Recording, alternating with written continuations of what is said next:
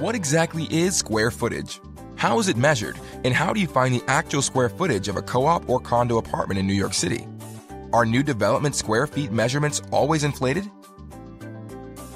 Let's start with the basics. What is a square foot? Square footage is a two dimensional measure of space in real estate, meaning that height is not a factor because we're not measuring volume, which would be three dimensional. The square footage of a room is simply the amount of floor space.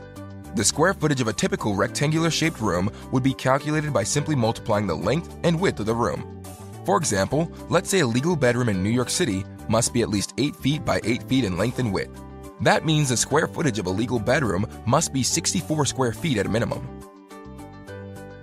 How does one figure out the square footage for a co op apartment? Determining the square footage for a co op apartment in New York City can be tricky. Square footage figures are rarely published on co op apartment sales listings because an exact number is rarely listed by an official document.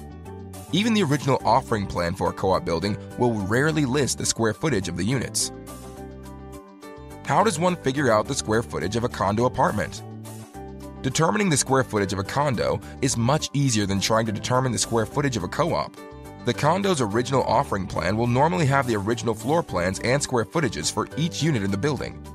In addition, the New York City Department of Finance will list what they call the net square footage of the lot from the condo declaration in each property's most recent Notice of Property Value letter.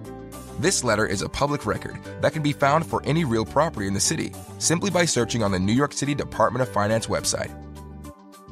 However, it's important to understand that just because an official square footage is listed in the original offering plan does not mean that there's a standard way of measuring square footage.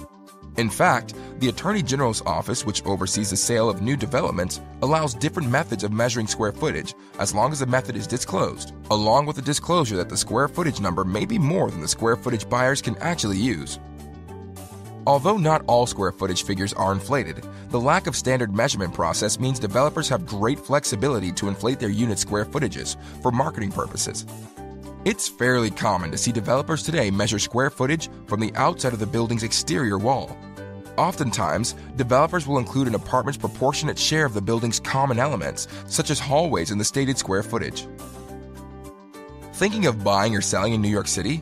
Save money with Hauseit, New York City's largest and most trusted for sale by owner and buyer closing credit company. Hauseit has saved New Yorkers millions of dollars in commissions since 2014, and we'd love to help you too. Subscribe to our channel and check us out at www.hauseit.com.